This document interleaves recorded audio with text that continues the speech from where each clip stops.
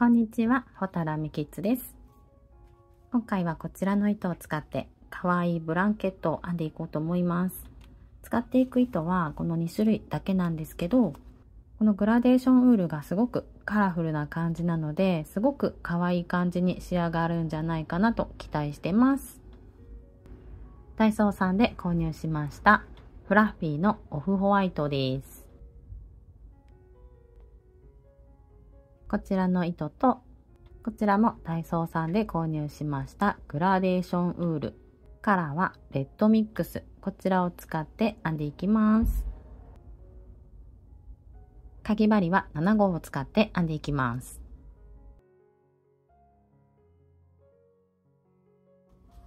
2段ずつ色を変えて編んでいくんですが、どちらを先に編んでいただいても大丈夫です。今回私はグラデーションウールを先に編んでいこうと思います。では早速編んでいきます。輪の作り目で編んでいきます。指2本ぐらいに糸を2回くるくるっと巻きつけて、この輪の中に編んでいきます。輪の中に針を入れて糸をかけて引き出します。鎖3つで立ち上がります。立ち上がりの目にマーカーをつけて輪の中に長編みを編んでいきます。糸をかけて輪の中に針を入れて糸を引き出して針に3つの糸がかかっているので2つずつ引き抜いて長編みしていきます。糸をかけて輪の中に針を入れて2つずつ引き抜いて長編みです。立ち上がりの鎖3目も長編み1つとしてカウントしています。長編み3つを編んだら角の目、鎖を3つ編んでいきます。次は長編みです。同じように糸をかけて輪の中に針を入れて長編み。長編み3目を編んでいきます。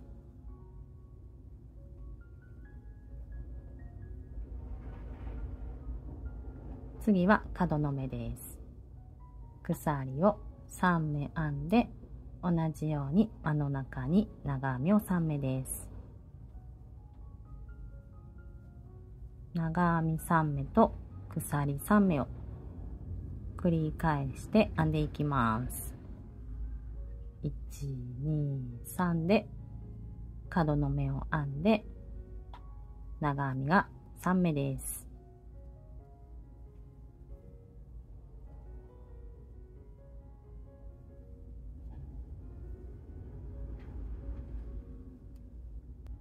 長編み3目と鎖3目これを4回目の長編みを編み終えたところです。ここで輪をき締めていきます。一度かぎ針を外して、ここに2本の糸が渡っています。糸端をゆっくり引っ張ると、この2本のうちどちらかがゆっくりと動いていきます。こっちの糸が動いたので、動いた方の糸を引っ張っていきます。そうすると輪が引き締まっていきます。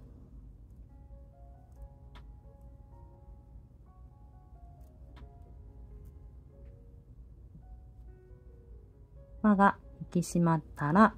糸端を引っ張って今引っ張り出してきた糸を縮めていきます。これで輪が引き締まりました。かぎ針を戻して最後4つ目の角の部分を編んでいきます。鎖を1つ編んでマーカーをつけておいた立ち上がりの目に糸をかけて立ち上がりの目に針を入れて糸を引き出して中長編みで編み終わるので糸をかけてそのまま一度に引き抜いて編み終わります。最後の角は鎖1つと中長編みで編み終わっています2段目編んでいきます立ち上がりは鎖3目です。最初の目にマーカーをつけたら、2段目以降、ここの角の部分、この穴に長編み3つ、これを2つ分編んでいきます。最初の角は長編み、ブロック1つ分編んでいくので、立ち上がりの鎖3目と合わせて、糸をかけて角の穴の中に針を入れて、長編みを2つ編んで、長編み3目のブロックを1つ作っていきます。次は鎖を1つ編んで、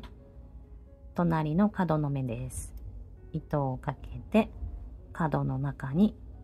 針を入れて、まずは長編みを3目です。これでブロックが1つ編めました。次は角の目なので鎖を3目編んで同じ角の穴の中に長編みを3目編んでいきます。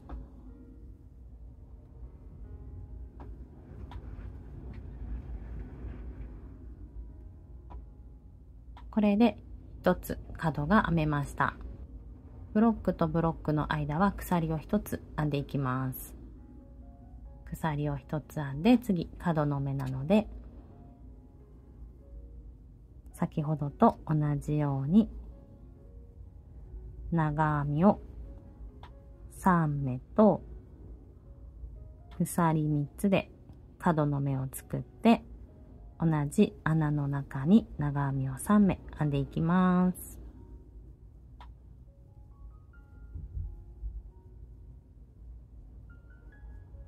同じように繰り返して編んでいきます。鎖を1つ編んで次が角の目なので長編みを3つ編んで鎖3つで角の目を作って同じ穴の中に長編みを3つ編んで角の目を編んでいきます。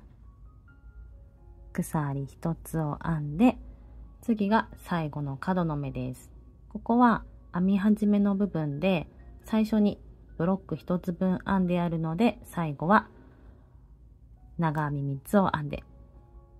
2つ目のブロックを編んでいきます。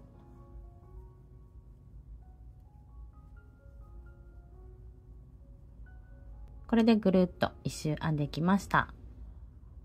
最初の角の部分もブロック2つ分編んであります。最後は鎖を1つ編んで、ここも中長編みを編んで編み終わっていくんですが、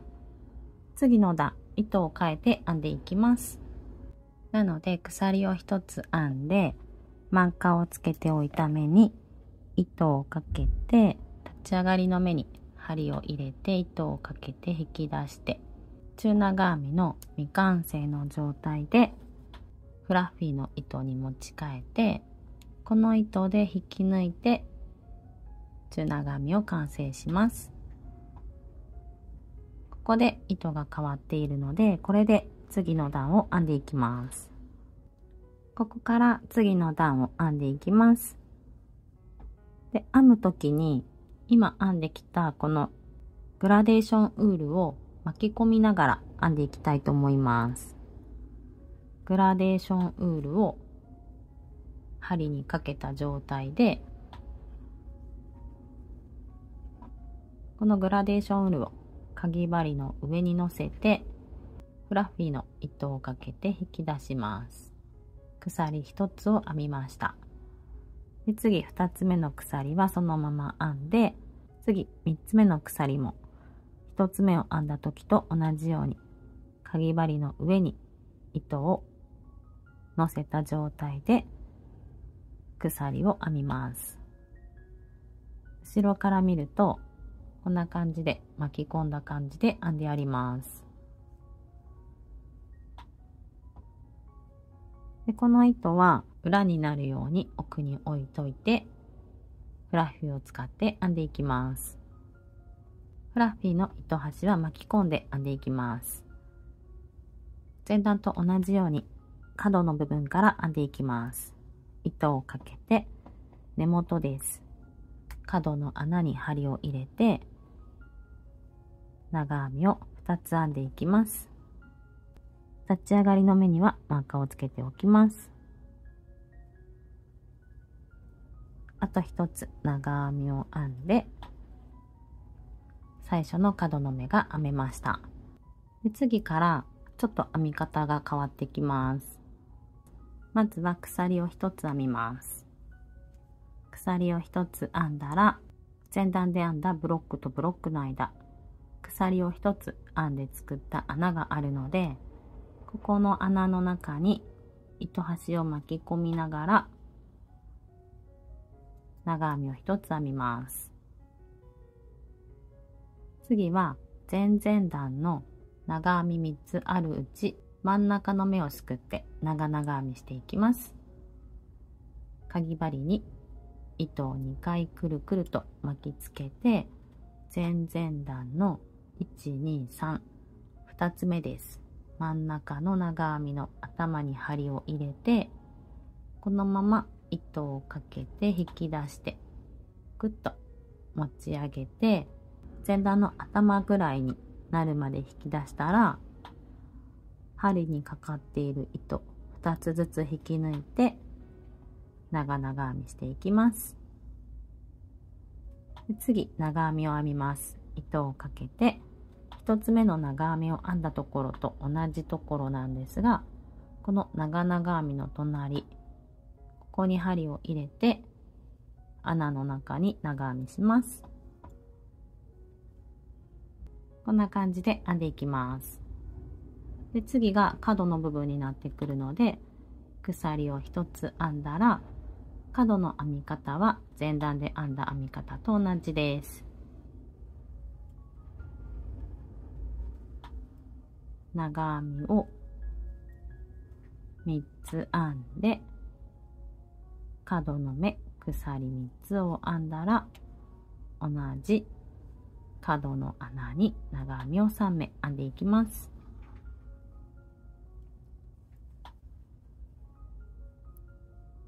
同じように編んでいきます。次はブロックとブロックの間、ここ鎖1つの部分は長編み、長長編み、長編みで編んでいきます。まずは鎖を1つ編んで穴の中に長編みを1つ編んだら次は糸を2回巻きつけて前々段の2つ目の長編みの頭に針を入れて糸をかけてぐっと引き出したら2つずつ引き抜いて長々編みです。次は前段の穴の中に針を入れて長編みです。鎖を1つ編んだら次が角の目なので長編み。3目と123と鎖を3つ編んで同じ角の目に。長編みを3目です。同じようにぐるっと編んでいきます。鎖を1つ。前段の穴の中に。長編みをして糸を2回巻きつけて前々段の長編みの頭に針を入れて長々編み。前段の穴の中に長編み。鎖を1つ編んで角の目なので長編みを3目編んで123鎖を3つ編んで同じ穴の中に長編みを3つ編んでいきます。鎖1つ。穴の中に長編み。糸を2回巻きつけて前々段の長編みの頭に。長々編みをして前段のブロックとブロックの隙間に長編み。鎖を1つ。最後角の目になってます。長編みを3つ編んで最初の長編み3つのブロックと合わせて2つ分にしてあります。最後編み終わりは鎖を1つ編んでマーカーをつけておいた立ち上がりの目糸をかけてここが立ち上がりの目になります針を入れて中長編みして編み終わっていきます。で次4段目を編んでいくんですけどこの時にもグラデーションウールを巻き込んで編んでいきます。かぎ針の上にグラデーションウールをのせて鎖1そのまま2つ目の鎖。糸をかけてから3つ目の鎖です。グラデーションウールの糸を休めておいて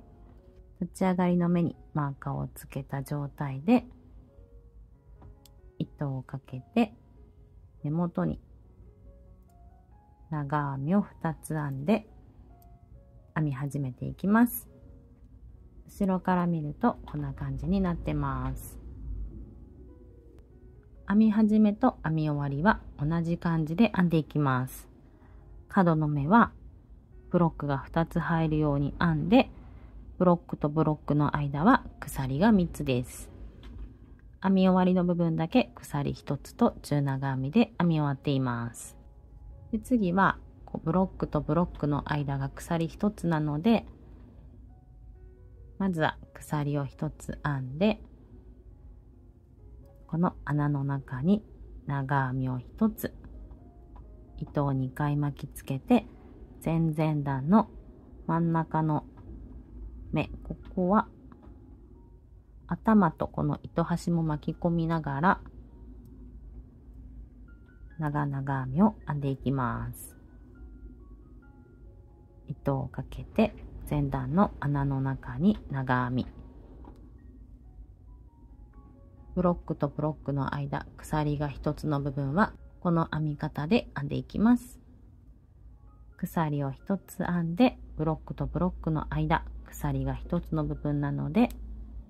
前段の穴の中に長編み糸を2回巻きつけて前々段の真ん中の目に針を入れて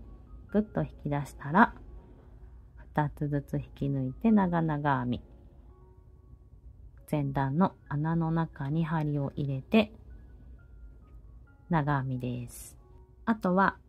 2段目3段目と同じように編んでいきます。鎖を1つ編んで角の目なので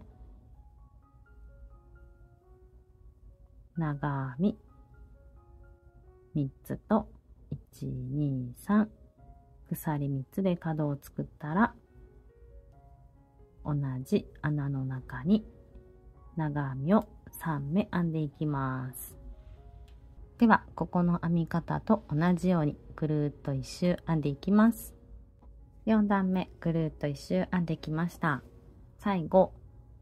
角の部分を編んで次色を変えていくので2段目と3段目の切り替えの時と同じように編んでいきます。鎖を1つ編んで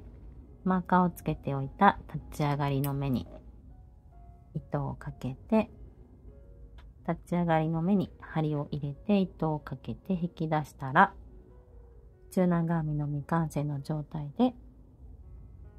糸を持ち替えてこの糸で引き抜いて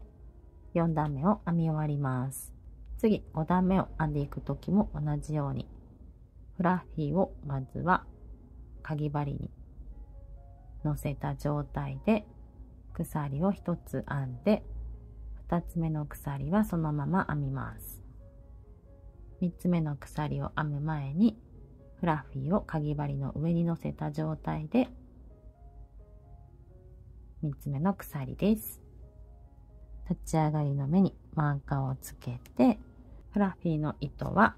奥側に休めておき、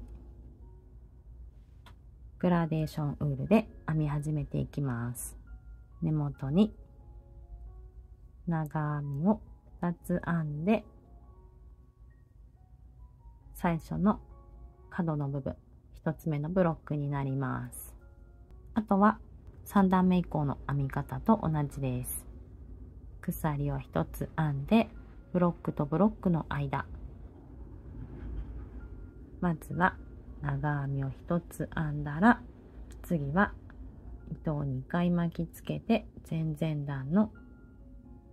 真ん中の長編みの頭に針を入れて糸をかけてぐっと引き出して2つずつ引き抜いて長々編みです。次はブロックとブロックの間に針を入れて長編みです。この編み方を繰り返して2段ずつ色を変えて編んでいきます。途中で糸がなくなった時も最後の引き抜き部分で糸を変えて編んでいきます。長編みで変えていく場合は糸をかけて引き出して針に3つの糸がかかっています。最初の1つ目を引き抜いて長編みの未完成の状態で次の新しい糸に持ち替えてこの糸で長編みを完成させます。こんな感じで糸を変えて編んでいくといいかなと思います。ではしばらく編んでいきます。今ちょっと何段か編んできたんですけどこの編み地が角の部分がビヨーンって伸びる感じでこの辺がちょっと編み地が余っちゃってる感じになってたので、目数をちょっと変えて編んでみました。ブロックとブロックの間に鎖を一つ入れて編んでたんですけど、その鎖をなしにして、長編み3つ、長編み3つで編んであります。で角の部分も、ブロックとブロックの間、ここ角の目に鎖3つで編んでたんですが、ここは鎖2つに変更してみました。編み終わりの部分は鎖1つと中長編みで同じ編み方になってます。こうやって編んでたらちょっと編み地が落ち着いた感じがします。糸の太さとか編み加減によって変わってくるかと思うんですけどここがまっすぐになりにくい、ちょっと編み地が余ってる感じがするっていう方は、ブロックとブロックの間の鎖をなしにして、角の目も鎖2つで編んでみるといいかなと思います。あとは、ここ編むときに、長々編みを編むときは、ぐっと長めに引き出して編んであげると、綺麗に編んでいけるんじゃないかなと思います。長編み3つのブロックを編んだら鎖を編まずにそのまま隣の穴の中に長編みを編み始めていきます。長編みをして糸を2回巻きつけて前々段の真ん中の目に針を入れてここでぐっと長めに糸を引き出して長々編みしていきます。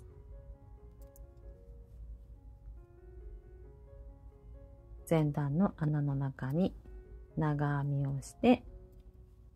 鎖を編まずに隣の穴の中に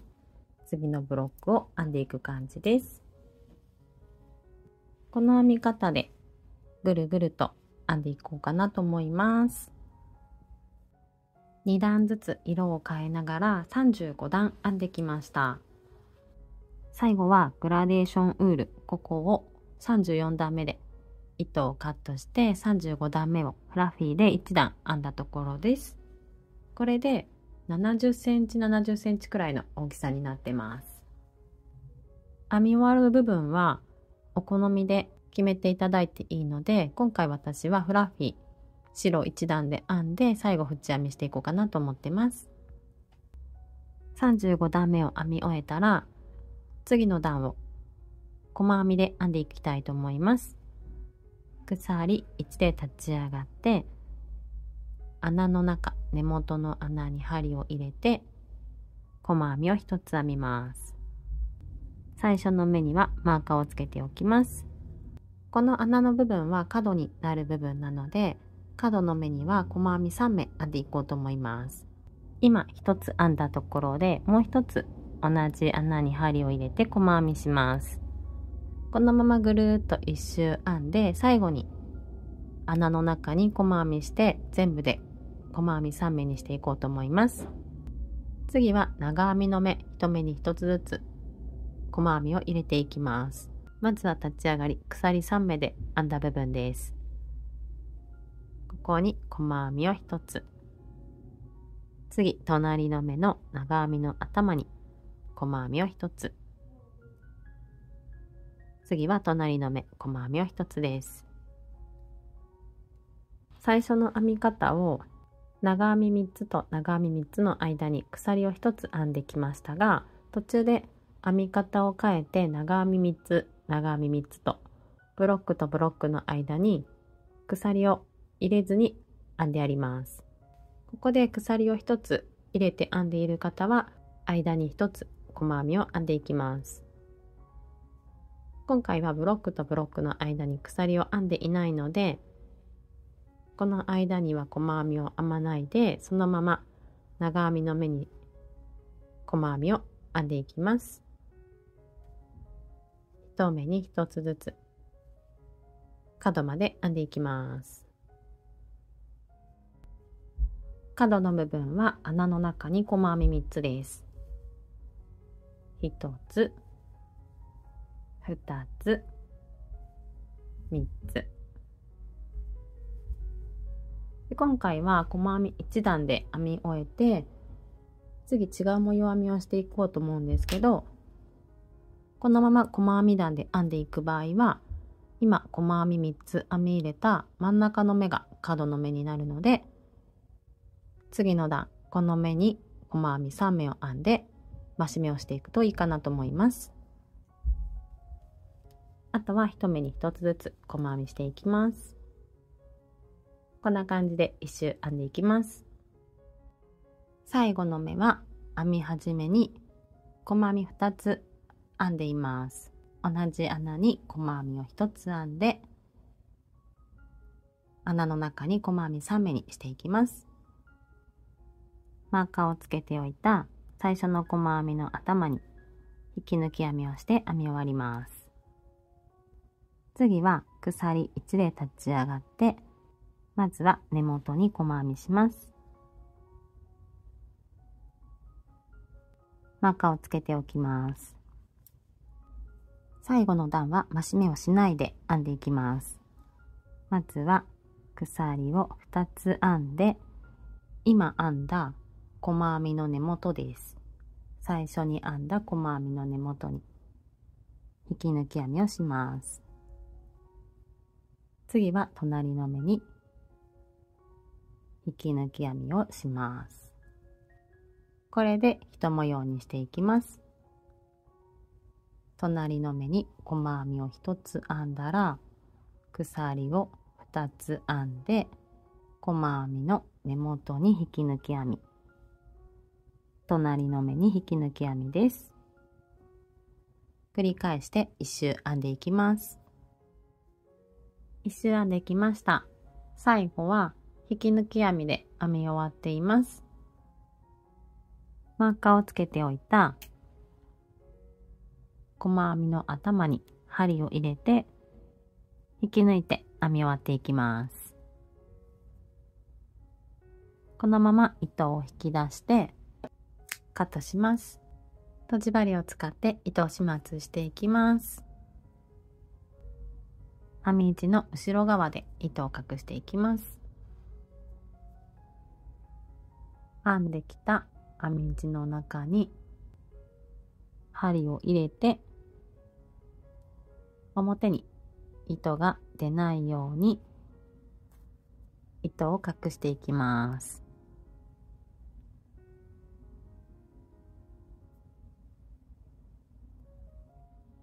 こんな感じである程度糸が隠れたら余分な糸はカットします。他の箇所も同じように糸を隠していきます。同じ色のところで糸が隠れるといいです。完成です。めっちゃカラフルな可愛いのが編めました。今回使ったグラウルのレッドミックスが赤色とグリーンが結構目立つ感じだったのでちょっとクリスマスっぽい配色になってるところもあってすごく楽しく編めました他にもいろんな色が入ってる感じなんですけどやっぱこの中で見ると赤色とグリーンが目立つ感じでその中にホワイトが入っていると本当にクリスマスって感じがしたりします。普通のグラニー編みにちょっとアレンジをするだけでまた違った雰囲気で楽しめるのでよかったら編んでみてください。今回も最後までご視聴くださりありがとうございます。